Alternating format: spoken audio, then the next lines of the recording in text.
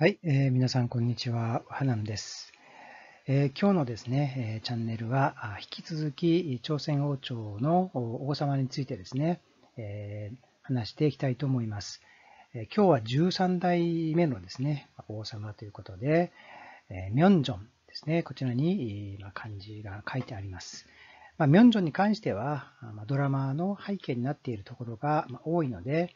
えよく知ってまあ、知られている、まあ、そういう王様であるかと思います。まあ、ドラマ自体、ドラマぐらいにですね、奈良ぐらいに、なので、まあ、史歴史の事実もですね、まあ、それぐらいこの、まあ、ドラマ化できるような、まあ、そんな内容ではないかというふうに、まあ、思いますね。チャンネルについてですけれども、ファナンチャンネルでは、韓国の歴史や文化についての解説、それから現地の史跡をですね、訪問したりしています。それから第2チャンネルもあります。こちらは韓国の生活にまつわることをトーク形式でですね、配信をしておりますので、ま関心がありましたら、ぜひ視聴していただければと思います。えミョンジョンですね。えこちらは前回のまインジョンからつながっているというふうに考えてですね、えー、ま、1545年に、ま即位はしてるんですけども、実際インジョンがあ急にですね、えー、亡くなってしまったことによって、ま、11歳で、ま、即位していくということなんですね。で、インジョンのところでもありましたけども、え、ムンジョン王妃というですね、え、ムンジョン、ムンジョン王公がですね、この子供が生まれたことによって、えー、なるべくですね、早く、印状を差し置いて、自分の息子が即位できるようにということで、測っていったわけですよね。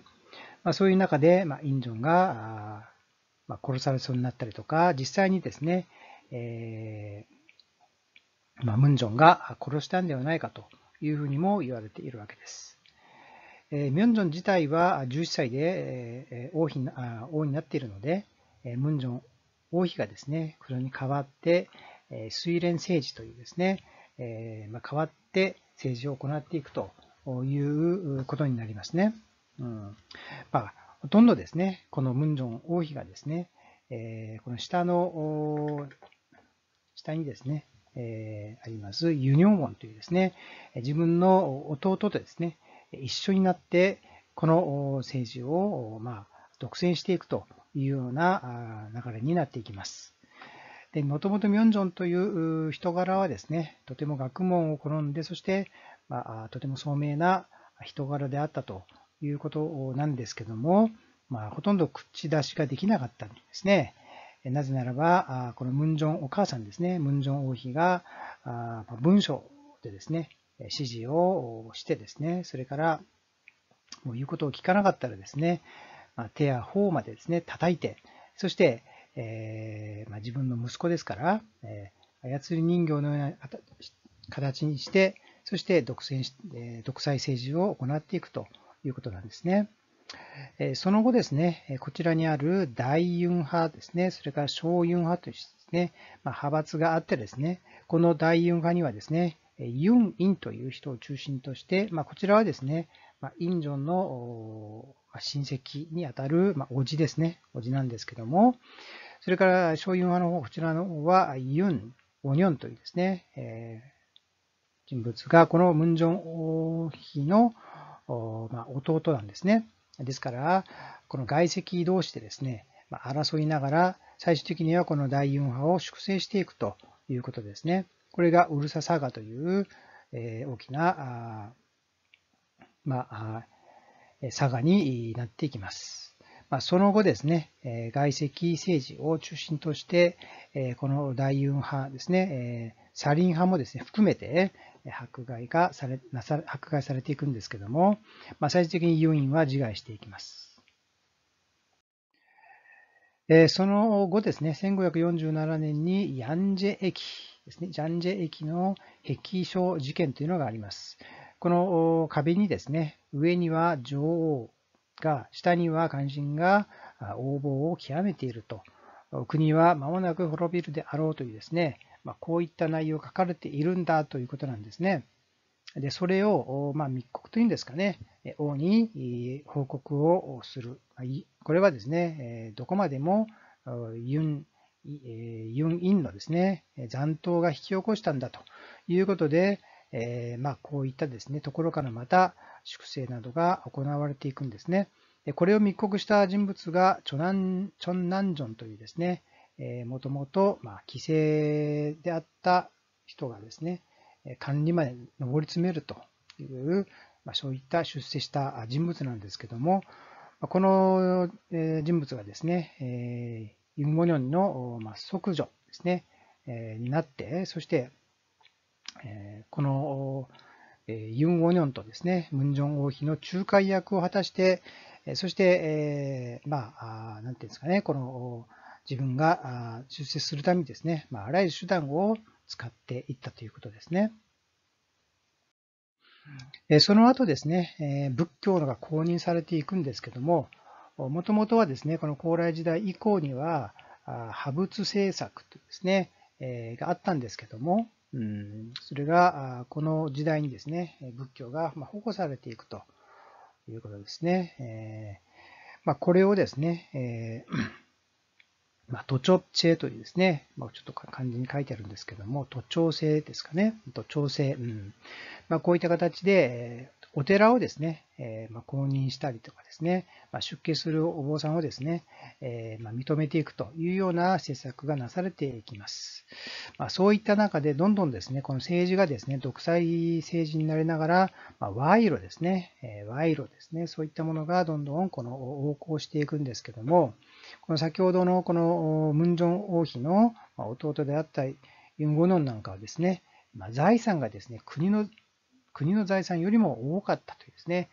身分制度がかなり厳しかったこともあったりとかですね、それからもこの富なんかもですね、貧富の差があまりにも多かったのがこの時代でもあるということなんですね。ですから平等というのが、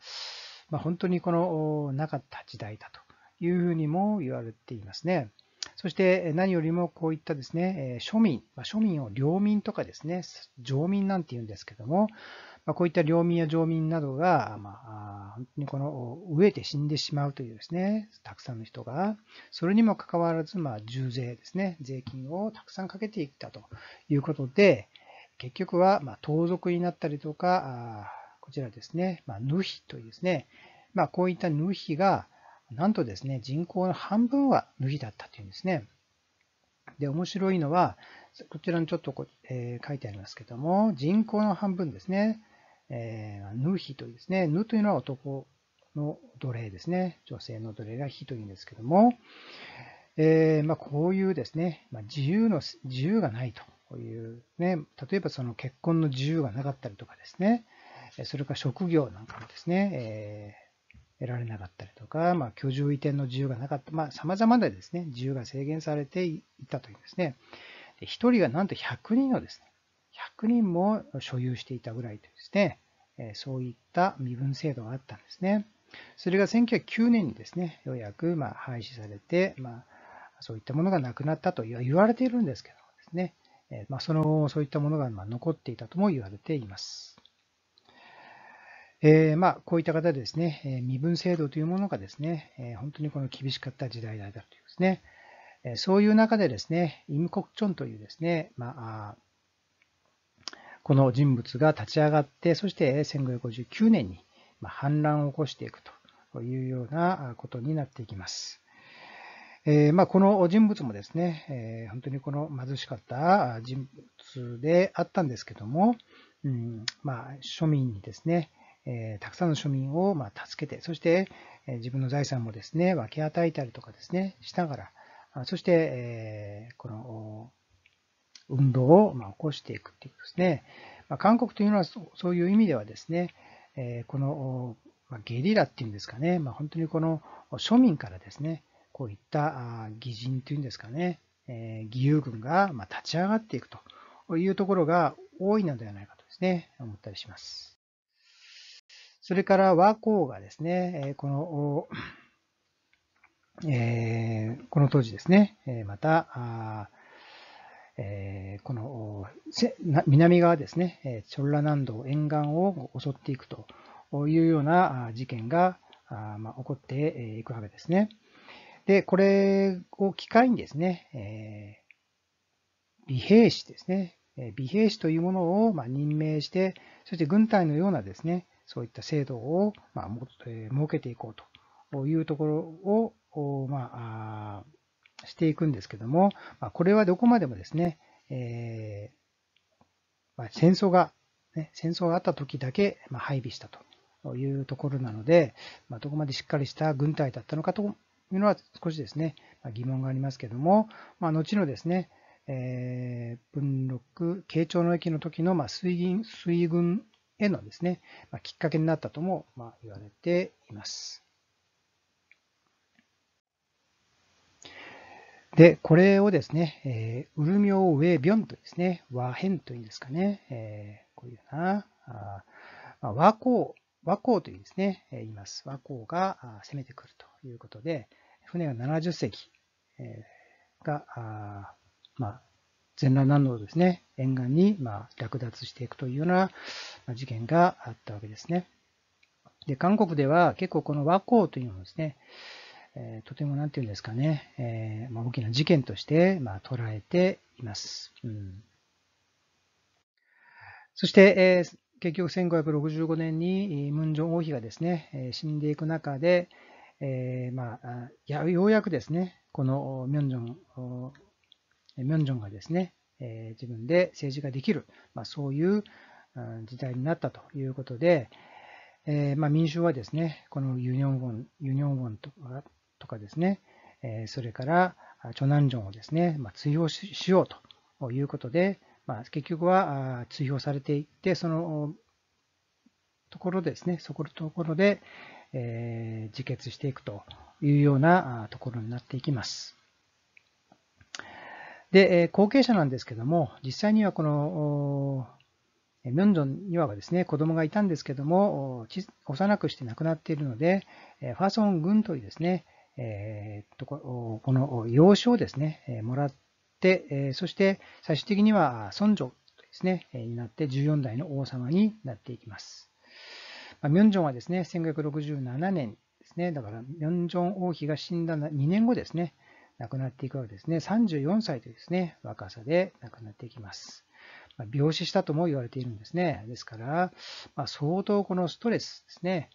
えー、まあ、母親だったり、それから、まそういう側のですね、いろんなその圧力なんかによってですね、ま本当にこのストレスが多かったんじゃないかとその中で、ま病死してしまったんだというふうに、ま言われていますね。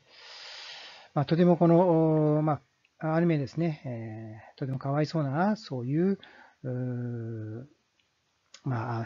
人生だったというふうにも考えられますけども、まあ、この時代を背景にしながらですね、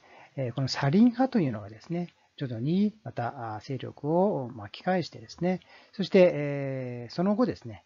その後は、このサリン派を中心としてですね、この内部で分断や、分断や党派、ね、この学問を通してですね、その党派争いですね、党人と政人に分かれて、そして政治後がなされていくと。というような流れになっていきます。はい、えー、ご視聴ありがとうございました。今日はですね、えこの13代目の王様のミョンジョンについて解説をいたしました。まあ、本当にこの時代背景をですね、知ることによって、またドラマもですね、楽しく見ることができるかなというふうに思ったりいたします。それでは、ご視聴ありがとうございました。チャンネル登録もよろしくお願いいたします。안녕히가십시오